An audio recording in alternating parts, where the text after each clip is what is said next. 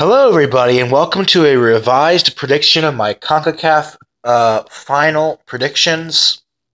I made a previous video, my early predictions. If you haven't seen that for CONCACAF, go watch that.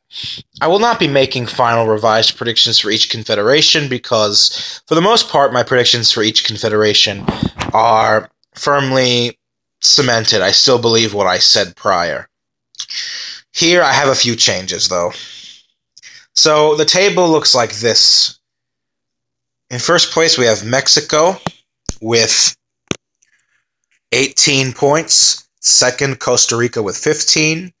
Third, Panama with 10. Fourth, the United States with 9. Fifth, Honduras with 9. Uh, the USA having a superior goal difference to Honduras. And Trinidad and Tobago with 3. So on match day nine, we have the following USA versus Panama, Costa Rica versus Honduras, and Mexico versus Trinidad and Tobago. The first match is going to be the biggest one to watch, in my opinion. Um, and it's very huge because whoever gets a desirable result from this game will be the favorite to finish in the top three of CONCACAF World Cup qualifying between the United States and Panama. The U.S. plays at home. My initial prediction was that the United States would win this game. I now actually think this is going to be a draw. And, you know, me being an American, I hate saying it, but that's what I think is going to happen, and I'll explain why. I was impressed with the way Panama have played this whole qualifying campaign, especially on the road. They got a win in Honduras. Um, they should have gotten a result in Trinidad and Tobago. They almost got a result in their last game on the road in Mexico. Mexico needing um, a goal late on to win 1 0. Mex- uh, Panama arguably should have had an equalizer uh, to gotten a point from the Estadio Azteca. I thought they were unfortunate. I thought the way Panama played, the way they've been playing this whole qualifying season, this is the best they've ever been, in my opinion. They match up very well with the United States. These are two teams that are very familiar with each other. We played Panama twice this year already. Both of them ended in 1 1 draws. And I actually think it's going to happen again for the third time. Uh, we tied them 1 1 on the road in Panama. We tied them 1 1 in the opening match of Group B of the, of the 2017 Gold Cup, uh, the Copa de Oro. And I believe here, because of the fact Panama had the opportunity to qualify directly with a win here, provided Costa Rica get a positive result against Honduras. Panama is on the verge of creating history and fulfilling their dreams of going to a World Cup, and they desperately want it. And what better to get it than on the road against the same team that denied you four years ago at the last minute from a playoff spot against New Zealand to do it against the United States. They this is a very much a revenge factor played into this as well as the desire to go to the World Cup.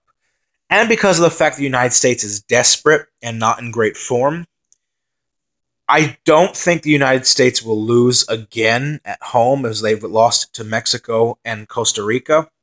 The United States will want to stay alive. Bruce Arena said the United States needs at least four points from their two remaining games.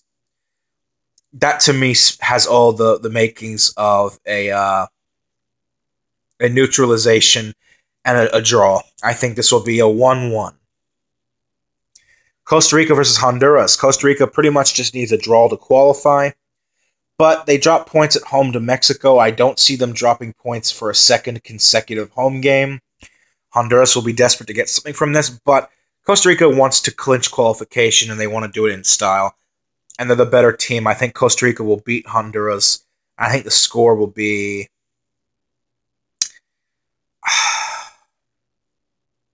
I think the score is going to be 2 0. And then we have Mexico versus Trinidad and Tobago. Mexico's already qualified, but they want to end this qualifying season with an undefeated record. Trinidad and Tobago is by far and away the weakest side in the hex at the moment. They're they're already eliminated. I do think they're going to give Mexico a hard time just because they're a very physical and athletic team, but I think Mexico is just overall just vastly superior in quality. I'm gonna go three to one. Mexico will win three one. And then on the final match day, match day 10, Honduras versus Mexico, Panama versus Costa Rica, and Trinidad and Tobago versus the United States. I think this is how it's going to go down. I actually think Honduras is going to get a home win here because Mexico is their last game.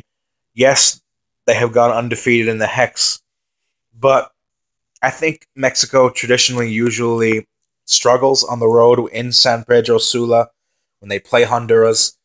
Honduras almost beat them in the previous round uh, when they were in a group together, the two of them with El Salvador and Canada. El Honduras will need a result from this. They would have to get a win to stay in contention or to be eliminated altogether, not even go to a playoffs spot. Mexico, I don't know if Mexico is going to send their best team all the way down to San Pedro Sula, given they're guaranteed to win the group, not just qualify, but win the group by this point. And they don't really have that motivation, to be honest. Whereas Honduras will be in a really tight spot and they will have to get something from this game. And I think Honduras would win will win this game 1-0. Then Panama versus Costa Rica. This is pretty much what Panama needed, right? Costa Rica team, a Costa Rica team that has already qualified at this point.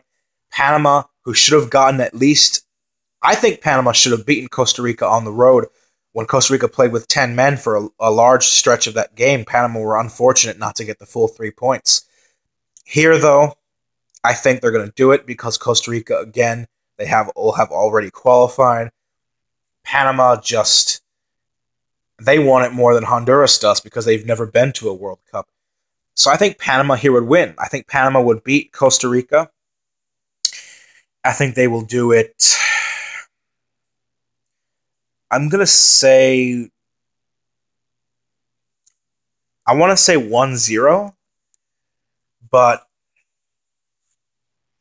I'm gonna say 2-1 to Panama, and then Trinidad and Tobago and the United States. Uh oh. I think for a large stretch of the live standings of these three games, guys, the United States will be on the brink of elimination similar to Mexico in 2013. For a large portion of this game, the United States will be sitting in the fifth position, not even going to a playoffs. And I think the U.S. will, in, in true dramatic fashion, grab a winner uh, in conjunction with the fact that, um, yeah, I mean, I'm, they're not really getting any help here, would they? Because Honduras beating Mexico, Panama beating Costa Rica. I think the United States would get a win here, a narrow 1 0 victory. And that would take the U.S. to just above Honduras on 13 points. Because if this match ends in a draw, and Honduras beats Mexico, Panama beats Costa Rica, the United States slips down to fifth place and are eliminated. I don't think Mexico will save the U.S. returning the favor from 2013 because there's just no motivation to do so. I think Honduras will, will beat Mexico, but I think the United States is just a far better team than Trinidad and Tobago, and I do think they will grab a late winner 1 0 to qualify, or at least to, to get to a playoff. So this is what the standings would look like. We would have Mexico with 21 points, Costa Rica with, I believe, 18 points in second. You'd have Panama. This is the change from my previous video. Panama in third with 14 points. United States in fourth with 13. Honduras in fifth with 12. Trinidad and Tobago in last with 3. So what's the change from my last video? My last video, I had the United States slipping into third in the direct spot, sending Panama into the playoff. And look how close it is. Panama 14, United States 13, Honduras 12. And I think the United States would go to the playoffs against the winner of Syria, Australia. So leave a comment below, like, subscribe. I think the United States is going to leave it down to the wire. I think we'll just about make it. And I do think we will defeat whoever the playoff winner is between Syria and Australia. So I'll see you guys in my next video. Until then, leave a comment, like, subscribe. And until then, much love and peace out.